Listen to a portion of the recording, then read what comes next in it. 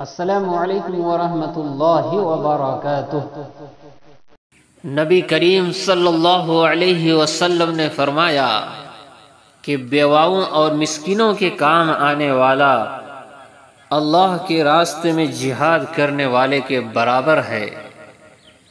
یا رات بھر عبادت اور دن کو روزے رکھنے والے کے برابر ہے۔ حضرت عبداللہ بن عمر رضی اللہ عنہ فرماتے ہیں کہ نبی کریم صلی اللہ علیہ وسلم سے پوچھا گیا کہ سب سے افضل شخص کون ہے؟ آپ صلی اللہ علیہ وسلم نے ارشاد فرمایا، صاف دل والا اور زبان کا سچا۔ صحابہ کرام نے عرض کیا، زبان کے سچے ہونے کا مفہوم تو ہم جانتے ہیں، لیکن دل کے صاف ہونے سے کیا مراد ہے؟